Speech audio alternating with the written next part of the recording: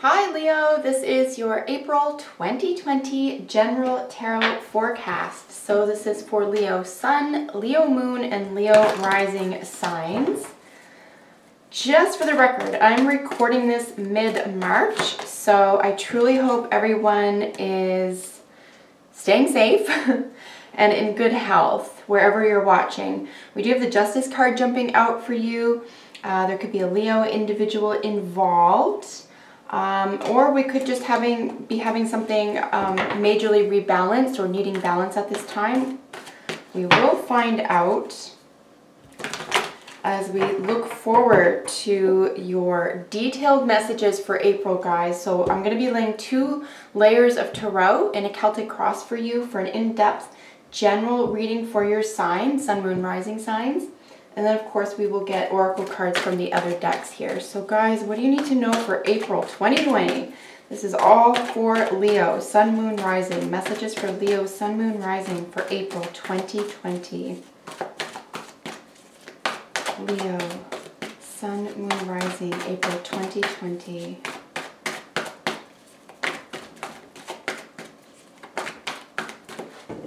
All right. So I'm going to lay out your first layer.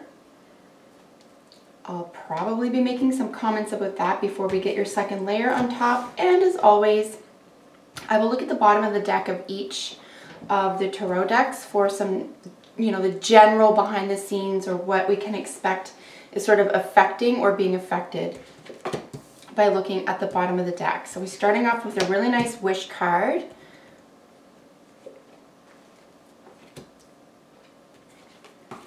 Couple of sevens already.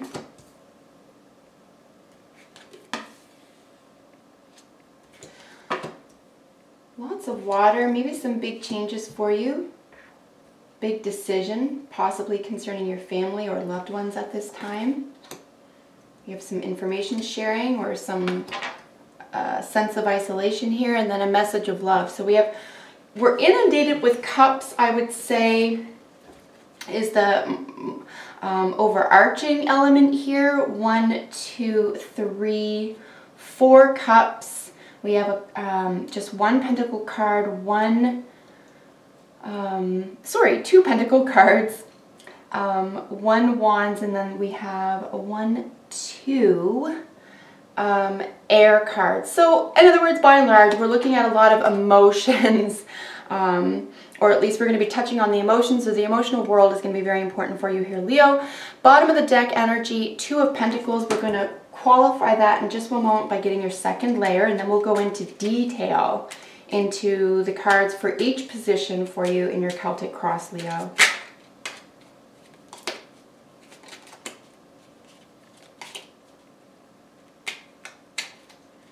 Just trying to look at other major themes here. Um, Interesting to see the King and the Knight of Cups. Oh, we have two Knights too. Two Knights, two Sevens. Let me see if the two Knights are significant. Um, we do have an indication that friends from the past could be playing a part right now, or at least you'd like to hear from them, or you'd like them to play a part. Friends from your past um, you would like to maybe communicate with them. You might be hearing from them. All right, so qualifying April 2020 for Leo.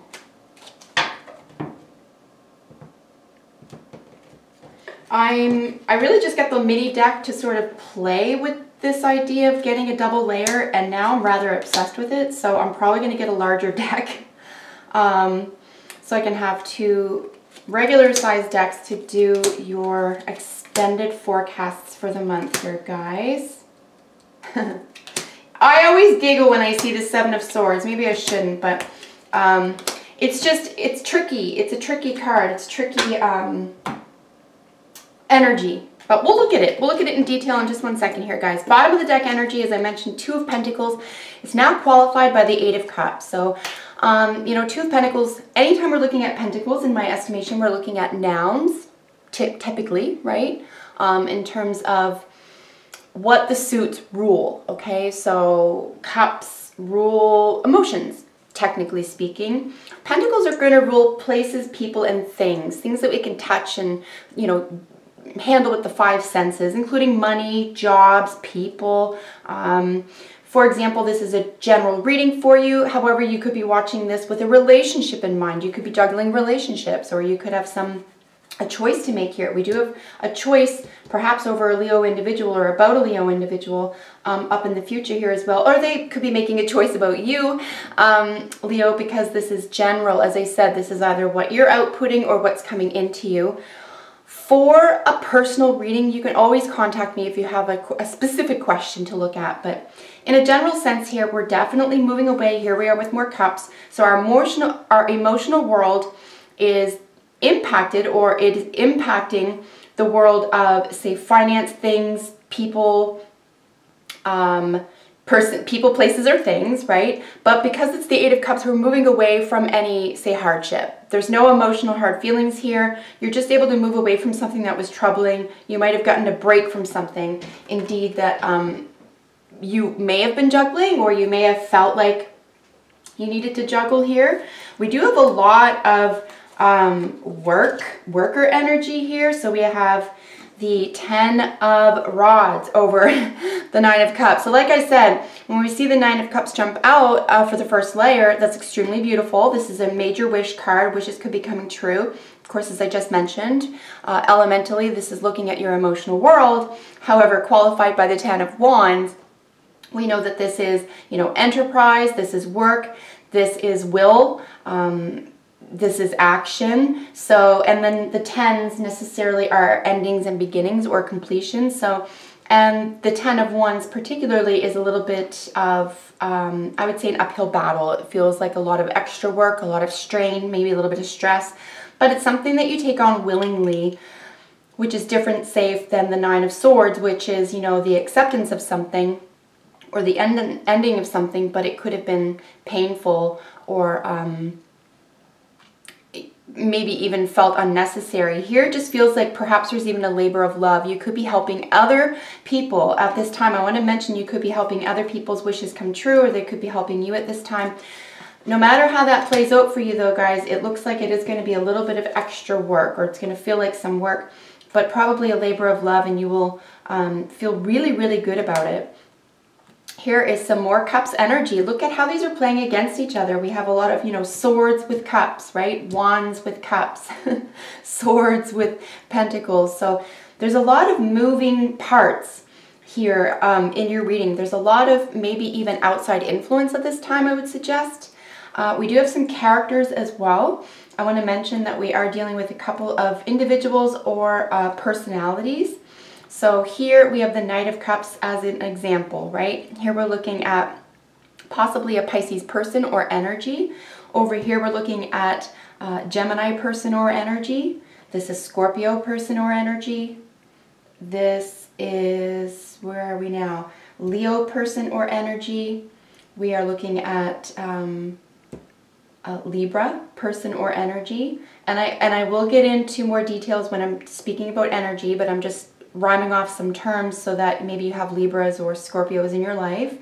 And then, of course, um, we have the uh, Taurian energy with the Hierophant up there, along with the um, Knight of Cups. So the Knight of Cups is featured twice, once at the really beginning here and once at the end. Um, but again, we're looking at some Pisces energy back here, Pisces person or energy back to the middle. Now I wanted to mention here as well that, you know, by the time we're looking at the first two cards, we're looking at the influences or the direction of your reading today under the auspices of the bottom of the deck. Now the second layer would be the obstacles to moving forward in this direction or the situation that you're up against. And um, this is the Seven of Wands qualified with the Knight of Cups, right? So again, we're looking at wands energy. You're, you could be defending yourself, defending a position that you're taking, defending a dream or a wish at this time, and you're doing it very lovingly, or you feel like um, there's a lot of heart, there's a lot of sensitivity that's involved with this right now. You could feel sensitive about protecting yourself or someone else at this time. Again, I just want to, you know, quickly mention a little bit more about the Knight of Cups. We do have it here twice it is technically ruled by Pisces. It really can be any water sign, but you know, Pisces in terms of, you know, imagination. Um, we're looking at, um, you know, phenomena. We're looking at emotional intelligence, right? You know, this is technically what the 12th house is going to uh, rule. We're also looking at spirituality and self-sacrifice. So you could be helping others or others could be really helping you at this time. And it could be a labor of love here, guys. Here in the position of the desired aim or what is likely achievable at this time is, you know, just at first glance what I'm looking as, you know, maybe a pause to financial growth, honestly. And perhaps obviously if you're a tarot reader and you're watching this at first glance, if you just took these tarot cards together, you would say, you know, like there's a pause in the direction that you're moving, probably around finances, right? Um, and this is pretty standard, as I said, with what's going on currently, you know, um, around the world right now. Uh, this is probably standard for you or someone you know on a, on a smaller grand scale. But uh, Seven of Pentacles on its own is really looking at, you know, you're waiting for someone to something to come to fruition. Again, again, we're dealing with our pentacle energy, so person, place, or thing. Um, and it's a general reading, so apply as a, accordingly. And then the Four of Swords is actually like a nice healing um, energy. It's a rest, it's a recovery energy. You could be getting money back right now. You could be waiting for money. You could be waiting for news on money or a direction on how to invest or spend at this time. But there's definitely no rush. The sevens are typically a little bit of a... Um, a revision, sort of a reflection, and then the fours are generally about stability, um, and the Four of Swords in particular is about pause, um, recovery, and um, you know, reflection, right? So these are two extremely reflective cards here together. So yeah, I mean, unsurprisingly, right? Everyone's just sort of waiting, some of us with waited, bated breath, but others about, you know, how, in which way are we supposed to move and you're definitely taking a little bit of downtime, taking a little bit of a break from that. Here's our, here's the second seven. Here's where we're looking at um, the seven of swords, of course, which qualifies the king of cups. Now, this is interesting if you look at the king as fixed energy, as Scorpio energy, eighth house energy, and um, sex, death, and rebirth. There could be some major transformations here with regard to eighth house energy. Yes, the King of Cups can technically be, I would not even say technically, I would say that the King of Cups, it is ruled by fixed energy. All the kings are fixed, so it's, I believe, technically ruled by Scorpio but it could indicate really any water sign, so Scorpio, Cancer, Pisces. But I would suggest here strongly, um, because of the way I read and how I feel about these cards, that this is a little tricky information. This is a tricky situation. Somebody might be trying to get away with something here.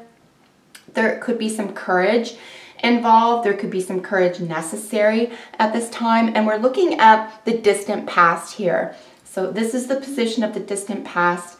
Um, there could have just been something up in the air, something that felt tricky. We are looking at, you know, swords energy, which is information, ideas, beliefs, communication, and something around something that's highly transformative at this time. So something emotionally profound um, could be transformed in a tricky, upsetting, or un unforeseen way.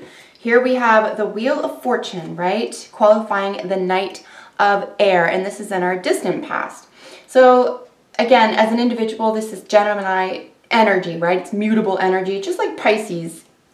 You know, Knight of Cups is, all the knights are mutable, okay? As opposed to fixed energy, which is mature and stable and for the long haul. Um, you know, mutable energy is typically changeable. It's very, very changeable, very quickly. And here we have it. And of course it's air, so we're dealing with Gemini, we're dealing with communication, right? And we see more Gemini influence over here with the lovers, with the world. So the recent past, you know, what we're just coming out of is communication that is highly changeable and somewhat fickle, um, even though it has its best intentions to be honest and, and evidential, you know, it's changing very quickly. The Wheel of Fortune does create a lot of luck. It does support a lot of luck and um, hope. And um, I think that's something very, very positive. Could be coming um, at least by the second or third week for you guys in April. I'm glad to say that for you, you know, with some really strong pleasant cups energy here. Could involve children, yours or someone else's. Um, but yeah, big changes around what we're communicating about, sudden information changes, again, mutable, um, open to change, open to new ideas. And then, uh, as I said here, with qualified by the Wheel of Fortune, something is coming around again, but it looks like luck could be on your side. We have a lot of angelic uh, support here as well. You could um, succumb to something if you're not careful, if you're not looking at the right information, or if you're relying perhaps too heavily on the mind, I would, you know, involve some of your intuition. And then at the higher end of things, or at the greatest level of this condition, you could rise to an occasion. You could really come, come to someone's rescue, or someone can come to your rescue. Uh, but, you know, it's nice energy. There's nothing really troubling about it. It's just, it's pretty standard actually, which kind of helps, helps explain on a you know, on a tarot level, what could be going on for you at this time in human history. Here we have in our um, new influence, near future, or what's to be discovered, right? So here's our glorious Ten of Cups qualified with the Page of Cups. And, you know, this is just glorious energy, guys. It truly is. So I would say, like I just mentioned, between the second and third week of April, no matter what is happening for you at home and, or at work, it looks like extremely positive outcomes for your home and family, um, including any children at this time. You could be dealing with a younger water sign person or someone who's just very, very creative and sensitive. A new opportunity for a love relationship or communication regarding love could be evident in the near future at that time for you, second to third week of April. Very nice to see. Here we have the world qualified by the two of swords. So here we have, I believe we have two twos.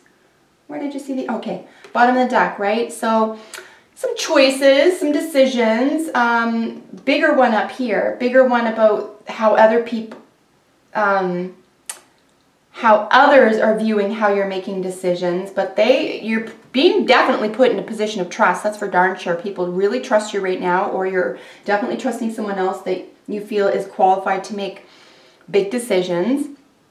But with regard to the position that reveals how you feel about the situation, you know, yeah, it's hard to make a decision about the world right now. It's hard to understand or even, you know, be confident about which direction to take. I would seek clarity at this time, seek evidence. Um, maybe don't put all your eggs in one basket right now. There could be two different points of view around a world situation, something that affects something um, bigger than your family, bigger than your home life, right? Um, and then the world is ultimately completion. One, say, chapter of the life is over, another is beginning. Um, and as I said, we do have a decision up here to make around, could be about the family, it could be about a child, could be about a position of um, power, security, creativity, even love and romance, again, depending on how you're viewing this. But um, Clarity will be needed at this time. It looks like you just need to make up your mind. And like I said, um, how other people are viewing you at this time is the lovers qualified by the King of Wands. If we're looking at people or energies that are uh, indicated within these cards, we're looking at Gemini and Leo energy technically. Again, we had Gemini indicated back here, communication, mutable energy, and then Leo, right? Leo energy, fixed sign energy, um, ruled by the sun, and this is uh, fire. So we have, you know, fire and air. So a lot of communication, uh, a lot of sudden communication. Someone could be in charge or be putting themselves in charge or a decision about who should be in charge at this time. This is someone who could run roughshod over other people who are quieter or a little bit more sensitive.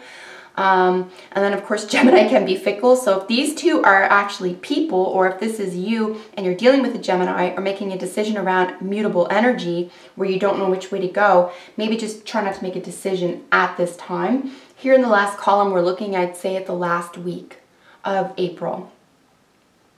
Um, so really strong personality types or energy types here. Again, I want to mention in terms of people or energies supported by the signs related to these cards, we're dealing with third and fifth house energy. Third house being communication, fifth house being romance and um, creativity. So it could just be about, you know, how you're going to be creative at home if, if you've had to stay home this past little while. Here we have the Four of Cups qualifying the Queen of Swords. So, you know, this is your hopes and fears. She is te technically the divorce queen. She's Libra. This is partnerships and relationships, whether this is home, business, it doesn't really matter. Um, and then the Four of Cups just indicates a little bit of boring or becoming disinterested or uninspired. um, so just, you know, watch communication around any boredom or disinspiration at this time, or definitely seek that. This is also an extremely wise person who puts truth first. This person would rather be alone um, than lie to somebody. So it could be that there's a price to pay for telling the truth here as well, and that could be, um, that is in your hopes and fears column. But we do have a nice outcome here, guys. We have the Knight of Cups looking right at the Hierophant, like I mentioned. Um, and as I said, you know, the Hierophant being the Taurus ruled, and we are looking at some more Piscean energy technically back here. So, you know, we have some Pisces energy uh, looking right at Taurus. So we have some endings and beginnings. We have some imagination, uh, paranormal, phenomenal, these types of themes around, you know, Taurus, around the home, possessions, stability, you know, it's an earth element, it's second house, right? This is your, your speaking and singing voice. This is um, basic possessions, and, and it, it, does include relationships. So relationships could be affected at this time. Hierophant, also a major arcana, so it could be ruling the um, obligations to relationships as well.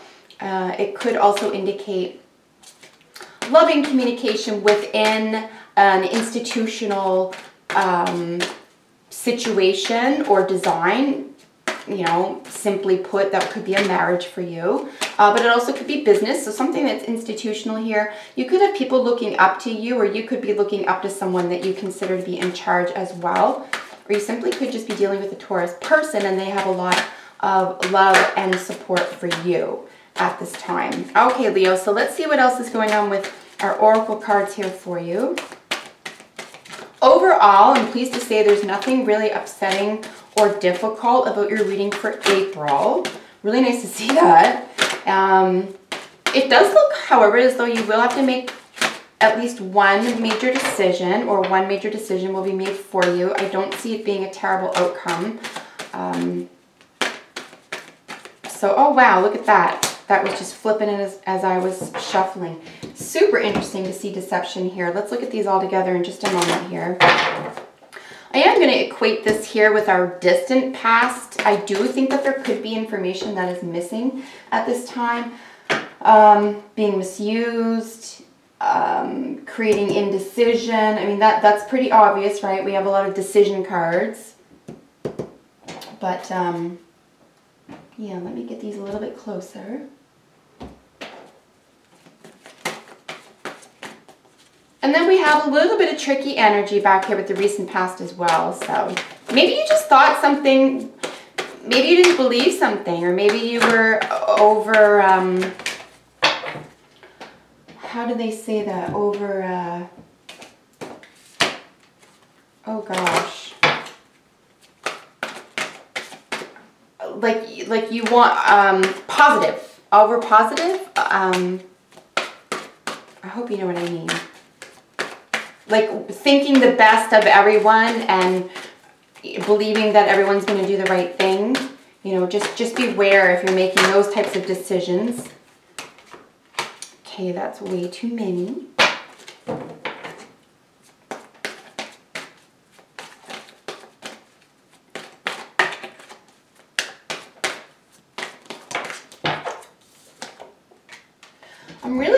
say playfulness here for you. I do see children or young people or um, if this is a relationship for you, that something is wow. Okay, something is in the early stages of something here for you. I'm going to read these two together. These are extremely potent right now.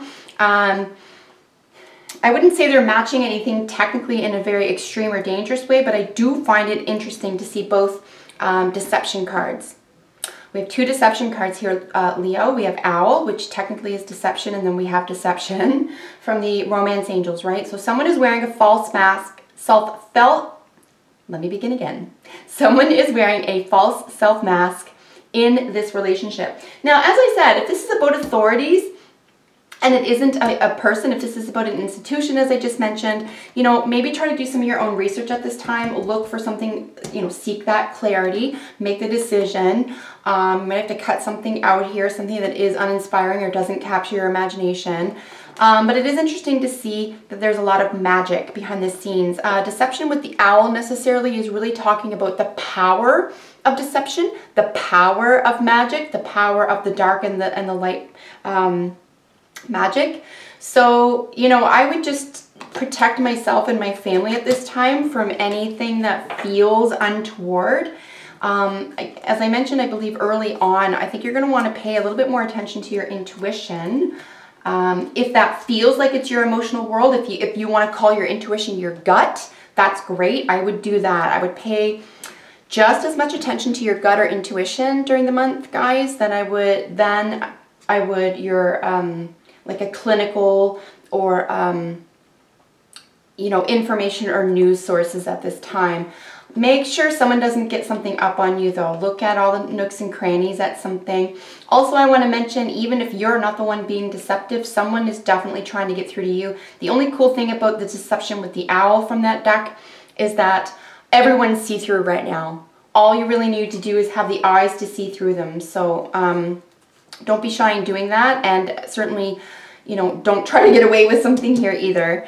Uh, playfulness is really important. As I said, this did jump out. It's really important to see this here. We do want some playfulness. We do have some younger energy here, a couple of knights, um, a page. So, you know, take care of children if, if that's what's going on in your life right now or something that appeals to you for an inner child. And then poised and not for you. This is extremely interesting to see these together. You may wanted to go back to something, a decision that you have made or wanted to make, for example, may not be available to you at this time. Even though you were in a great or grand position to begin that, say in early April, maybe just put it off for now. Like I said, there is a major sort of sort of a rest or recovery period that could be um, really important for you guys at the time, for the time being. So, you know, stay tight, take care of yourself, um, use your intuition, use your gut feeling, gather more information, be decisive, um, and make a decision that's based on your heart here, guys. Always, always um, look for the best in yourself and others.